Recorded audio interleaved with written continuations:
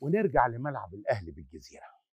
وزي ما قلنا في حلقات قبل كده إن سنة 1949 شهدت تطوير مدرجات الملعب بتعلية مدرجاته وبناء مدرجات جديدة خلت المدرجات تستوعب 20 ألف متفرج وأصبح أكبر ملعب في مصر كلها.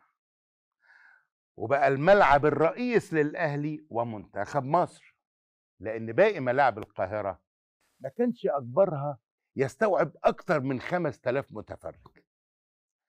جلسة 9 فبراير 1953 شهدت اقتراح مهم جدا لتطوير الملعب. نشوف الجلسة دي فيها إيه. عرض اقتراح حضرة الأستاذ المحترم محمد توفيق خشبة عضو مجلس إدارة النادي. وعلى فكرة محمد توفيق خشبة يبقى أبو المهندس شريف خشبة اللي كان عضو اتحاد الكورة. والمهندس شريف خشبة أبو الكابتن هادي خشبة. والخاص بإنارة ملعب كرة القدم. وقد رؤي تأجيل هذا الطلب للجلسة القادمة بناء على طلب حضرة البكباشي المهندس أركان حرب صلاح نسيم.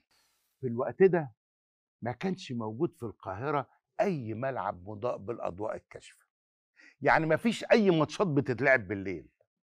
فكان اقتراح إنارة ملعب النادي الأهلي من أهم الاقتراحات في تاريخ ملاعب كرة القدم في مصر. وجه في جلسة 25 فبراير 1953 تقرر تأجيل النظر في مشروع إنارة ملعب كرة القدم إلى حين الانتهاء من النظر في مشروع تخطيط النادي. في الوقت ده كان في فكرة لإعادة تخطيط النادي كاملا وفعلا اتعملت لجنة زي ما جه في جلسة 17 مارس 1953 وافق المجلس على تشكيل لجنة من حضرات الأساتذة المحترمين علي لبيب جبر وأنيس سراج الدين وحسين الشافعي وبكباشي أركان حرب مهندس صلاح نسيم ومحمود مختار التتش للتحكيم في مسابقة تخطيط النادي وعرض النتيجة على المجلس.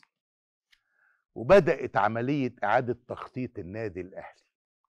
وكان من ضمن الخطة إنارة ملعب كرة القدم.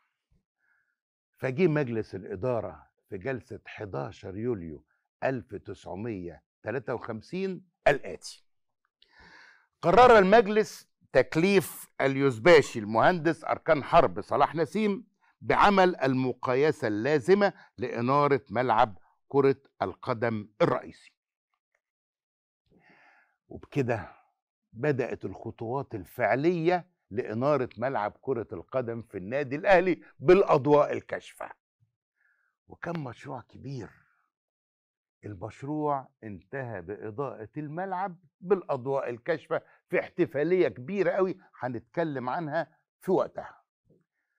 ومن القرارات الهامة اللي خدها مجلس الإدارة في التوقيت ده قرار جلسة 28 أكتوبر 1953 وجه فيه وافق المجلس على مشروع السيد قائد لواء جوي حسن محمد توفيق سكرتير النادي بمكافحة الأمية بين عمال النادي الصغار.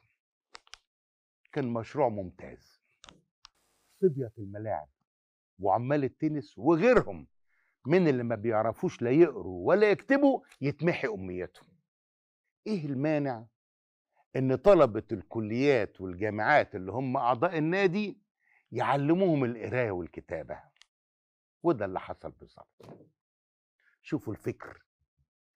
سنة 1953 شهدت وقعة طريفة بخصوص مكان انعقاد الجامعات العمومية للنادي. لحد جمعية نوفمبر 1952 كانت الجمعية بتنعقد في صالة من صالات النادي. وكانت بتكون زحمة قوي لدرجة إن بعض الأعضاء ما بيعرفوش يدخلوا الصالة وما بيسمعوش المناقشات. الجمعية العمومية اللي انعقدت في نوفمبر 1953 كانت أول جمعية عمومية تنعقد داخل سيوان.